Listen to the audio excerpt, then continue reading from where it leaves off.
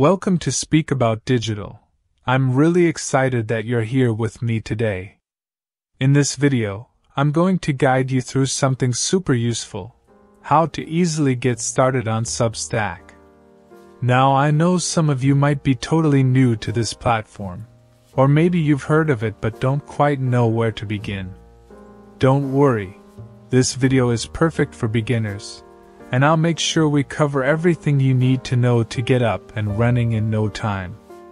Whether you're a writer, a blogger, or just someone who wants to share their thoughts online, Substack is an amazing platform to create and publish content.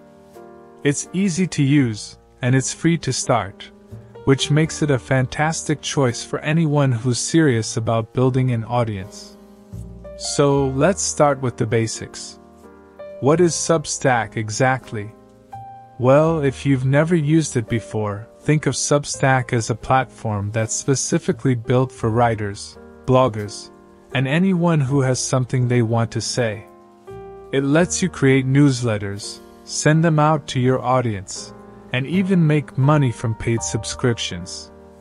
It's basically a place where you can build a direct connection with your readers without needing a middleman. The beauty of Substack is that it's incredibly easy to use. You don't need to be a tech genius to figure it out.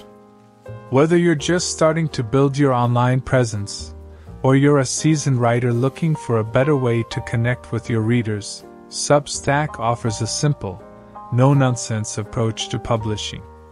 Plus, unlike a lot of other platforms, Substack gives you full control over your content. You're not relying on algorithms or advertisers. You're just connecting directly with your readers through email. And that's huge if you want to build a loyal audience that's actually invested in what you're saying. Alright, enough talking about why Substack is awesome. Let's get into the step-by-step tutorial so you can start using it today. The very first thing you need to do, of course, is create a Substack account. Now, this part is really simple, and it's just like signing up for any other platform. If you don't already have an account, I've got a link down below in the description for you. Go ahead and click that, and it'll take you right to the sign up page. But if you've already created your account, you can skip ahead a little bit. Once you click the link, you'll be greeted with the classic Get Started button. Go ahead and click that. You'll be prompted to enter your email, set a password, and follow a few simple steps to personalize your account. It's quick and easy, takes like 2 minutes tops. Now, once you're all signed up and ready to go, Substack will take you straight to your dashboard. This dashboard is the heart of your Substack experience. It's where you'll do all the work, from writing and publishing to managing your subscribers and exploring new content. The first thing you'll notice is how clean and simple it is. It's not overwhelming or cluttered, and if you've ever used platforms like Twitter, it might even feel a bit familiar. On the left-hand side, you'll see a navigation panel with all your main options, inbox, notes, chats, explore, and more. Let me quickly walk you through what each section does so you'll know your way around. This is where you'll find all the new readings and content based on your interests. It's kind of like your personal reading hub. The All section includes suggested readings that Substack thinks you'll like and the saved section is for all the content you've bookmarked to come back to later. This is super useful if you don't have time to read something right away. Now, Notes is one of the cooler features on Substack. It lets you post short form content, kind of like microblogging. If you're familiar with Twitter, you'll feel right at home here. You can post quick updates, ideas, or engage with other writers and readers by liking, replying, or even retweeting their posts. Well, it's called reposting here. So, think of it like a mini social network within Substack. The chat section is where the real conversations happen. Writers can start chat threads, and readers like you can jump in and join the discussion. It's a great way to build community around your writing. Imagine you've just read an amazing post from one of your favorite writers, and you have thoughts or questions. Just hop into their chat thread and engage directly. It's a really cool feature to keep conversations going beyond just the comments section. Moving on, the Explore panel is pretty self explanatory. This is where you can browse through different posts, writers, and recommendations based on your interests. You'll find all kinds of categories here, from tech to politics to culture. You might even stumble upon some new writers you love. Just like on social media platforms, the notifications panel is where you'll see all your updates. Whenever there's new content from someone you subscribe to, or if a writer you follow starts a new chat, you'll get a notification here. It's your way of staying in the loop. The profile panel is where you can manage your own profile settings. You can add a bio, upload a profile picture, link your social media accounts, like Instagram, TikTok, and YouTube, and tweak your subscription settings. This is where you show off a bit of your personality, so don't skip it. Make sure to update your profile with something that represents you and what you're all about. Okay, on to actually setting up your Substack page.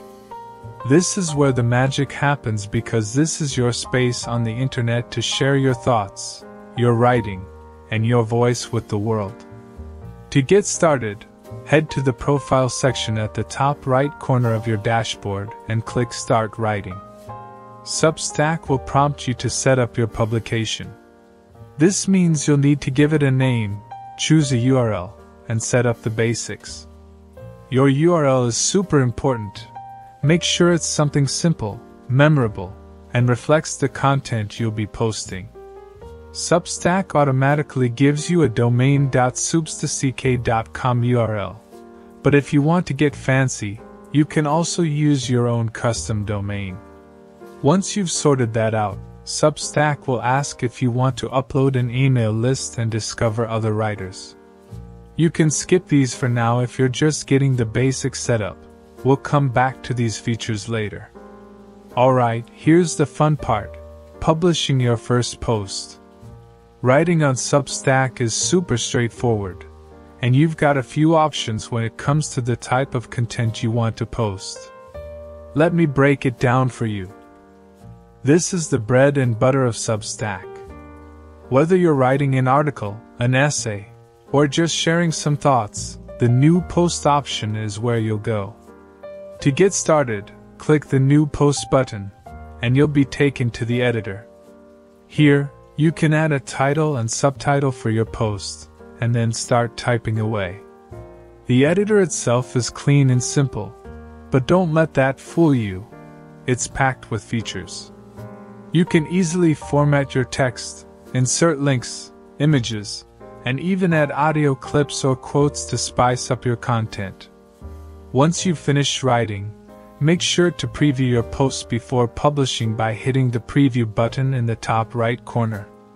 If everything looks good, you can move on to the final step, publishing. Before you hit publish, Substack will ask you a few things. Do you want to make this post available to everyone? Or only to paid subscribers? You can also toggle comments on or off, and set other preferences like whether you want the post to go out immediately or be scheduled for later. Once you've made your selections, hit send to everyone, and boom, your first post is live. Now, Substack is more than just writing posts. There are a few other content types you can explore, so let's take a quick look. Got a podcast or want to start one? Substack has you covered. The new episode option lets you upload audio or record directly on the platform. You can even import an existing podcast if you already have one. It's super easy to manage your podcast alongside your writing, all from one place. If you're more into video content, Substack lets you upload or record new video posts too. It's a great way to engage with your audience, especially if you're comfortable on camera. You can title your video, add a description, and share it just like you would with any other post. Once you've started publishing, you'll want to keep an eye on your stats and how your content is performing. Substack gives you detailed analytics to track how many people are reading your posts, how many new subscribers you're getting, and more. This is key to understanding what's working and what isn't, so make sure to check in on your stats regularly. You're officially ready to start using Substack. Whether you're writing essays, launching a podcast, or sharing videos, Substack has all the tools you need to build and grow your audience. It's simple, it's effective, and best of all, it's completely free to get started.